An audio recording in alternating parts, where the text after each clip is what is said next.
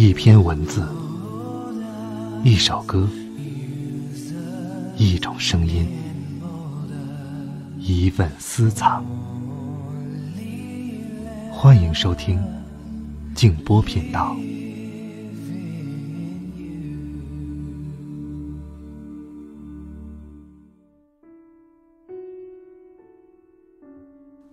人生的刺，就在这里。留恋着不肯快走的，偏是你所不留恋的东西。各位好，欢迎来到静波频道，我是静波。刚才这段话出自钱钟书先生。今晚要和大家一起来分享的这篇文章，来自莫言先生，我的老师。如果你希望听到我的更多作品，欢迎通过微信公众号或者新浪微博找到静波频道就可以了。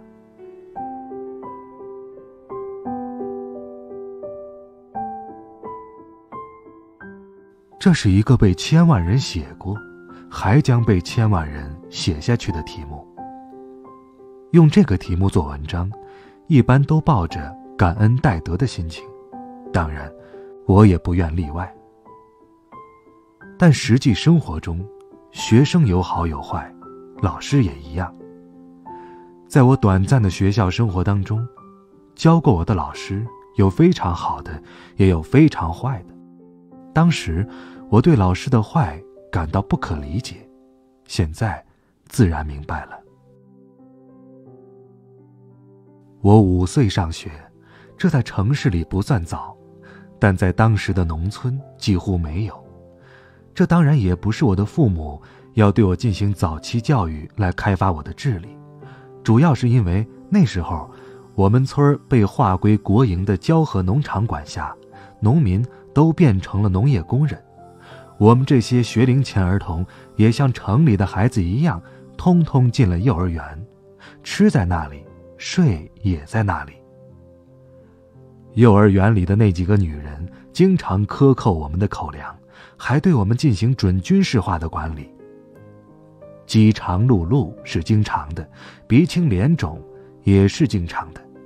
于是，我的父母就把我送到学校里去，这样我的口粮。就可以分回家里，当然也就逃脱了肉体惩罚。我上学的时候还穿着开裆裤，喜欢哭，下了课就往家里跑。班里的学生年龄差距很大，最小的如我，最大的已经生了漆黑的小胡子了。给我留下印象的第一位老师，是一位。个子很高的女老师，人长得很清爽，经常穿一身洗得发白的蓝衣服，身上散发着一股特别好闻的肥皂味儿。她的名字叫做孟宪惠，或是孟贤惠。我记住她，是因为一件很不光彩的事儿。那是这样的一件事儿。全校师生都集中在操场上听校长做一个漫长的政治报告，我就站在校长的面前，仰起头来才能看到他的脸。那天我肚子不好，内急，想去厕所又不敢，就将身体扭来扭去，实在急了就说：“校长，我要去厕所。”但是他根本不理我。就像没听到我的话一样。后来我实在是不行了，就一边哭一边往厕所跑去，一边哭一边跑，还一边喊叫着说：“哎呀，我拉到裤子里了！”我当然不知道自己的行为带来的后果。后来别人告诉我说，学生和老师都笑弯了腰，连校长这个铁面人都笑了。我只知道，孟老师到厕所里找到我，将一大摞写满拼音字母的图片塞到我的裤裆里，然后就让我回了家。十几年之后，我才知道，他与我妻子是一个村子里的人。我妻子说，他应该叫做孟老师姑姑。我问妻子：“你那个姑姑说过我什么坏话没有？”我妻子说：“哎呀，俺姑夸你呢。”我问：“她夸我啥？”我妻子严肃的说：“俺姑说你呀，不但是聪明伶俐，而且特别讲究卫生呢。”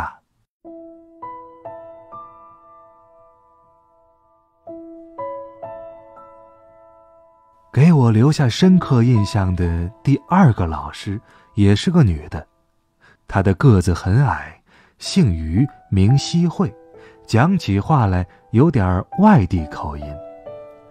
他把我从一年级教到了三年级，我自己也闹不清楚上了几次一年级了。从拼音字母教起，一直教到看图识字。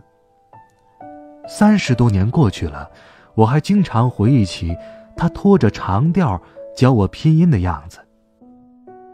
今天我能用电脑写作，而不必去学什么五笔字形，全是靠着于老师教我的那点基本功。于老师的丈夫是国民党的航空人员，听起来好像是洪水猛兽，其实是一个和蔼可亲的老人。他教过我的哥哥。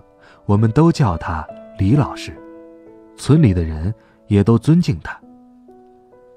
文化大革命期间，兴起来往墙上刷红漆写语录，学校里那些造了反的老师，拿着尺子、排笔，又是打格子，又是放大样，半天写不上一个字儿。后来把李老师拉出来让他写，他拿起笔就写。一个个端正的楷体大字儿跃然墙上，连那些革命的人也不得不佩服。于老师的小儿子跟我差不多大，放了学我就跑到他们家去玩。我对他们家有一种特别亲切的感情。后来我被剥夺了上学的权利，就再也不好意思到他们家去了。几十年后，于老师跟着他的成了县医院最优秀医生的小儿子住在县城。我本来是有机会去看他的，但总是往后拖。结果，等到我想去看他的时候，他已经去世了。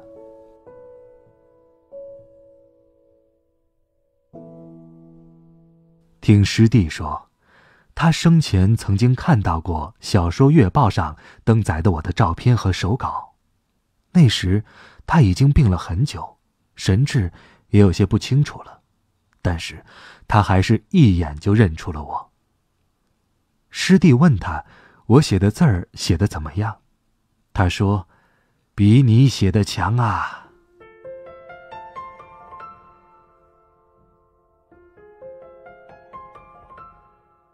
第三个让我终生难忘的老师是个男的，其实他只教过我们半个学期的体育，算不上是亲老师，但他在我最臭的时候说过我的好话。这个老师名叫做王兆聪，家庭出身很好，好像还是烈属。这样的出身在那个时代，真是像金子一样闪闪发光。一般的人有了这样的家庭出身，就会趾高气扬、目中无人，但人家王老师却始终谦虚谨慎，一点儿都不张狂。他的个子不高，但体质很好，他跑得快，跳得也高。我记得，他曾经跳过了一米七的横杆，这在一个农村小学里是很不容易的。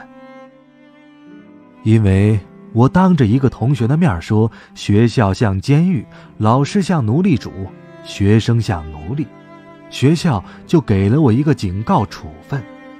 据说起初他们想把我送到公安局去，但因为我年龄太小而幸免。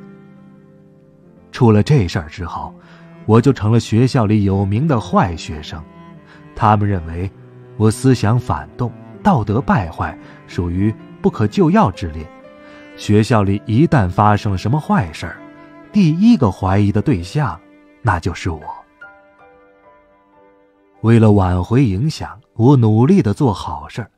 冬天帮着老师生炉子，夏天帮老师喂兔子，放了学自家的活不干，帮着老贫农家挑水。但我的努力收效甚微，学校和老师都认为我是在伪装进步。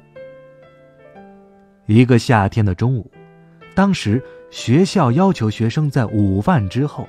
必须到教室午睡，个儿大的睡在桌子上，个儿小的睡在凳子上，枕着书包或者鞋子。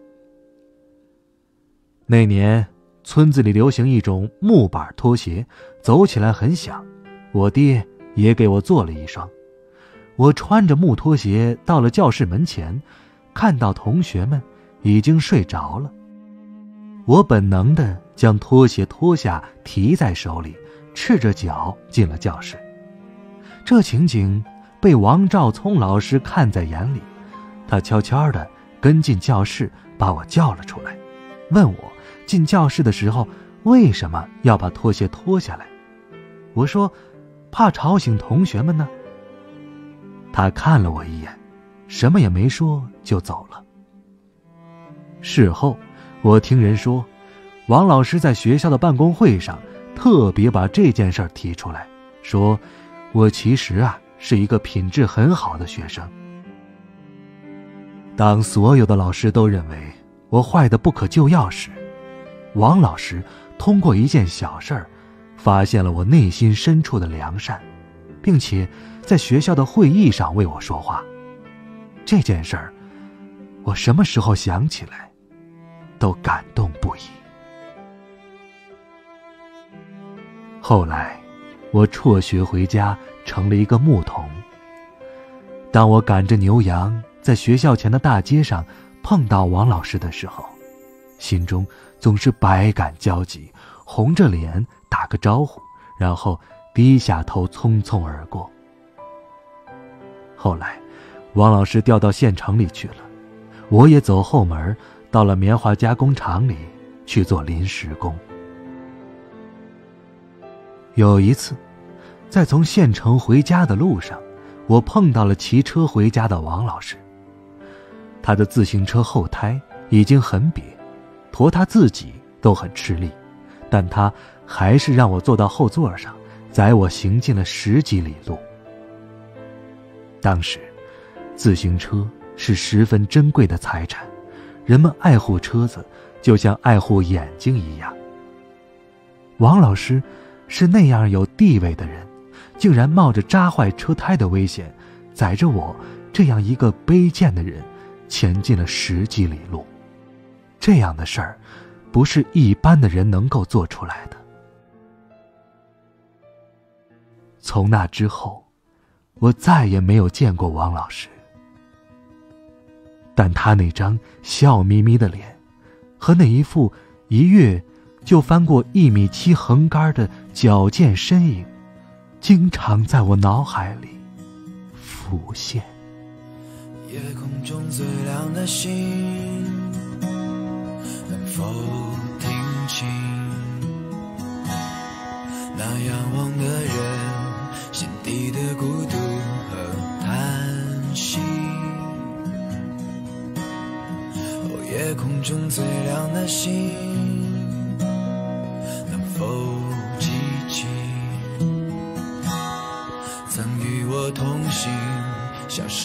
风里的声音？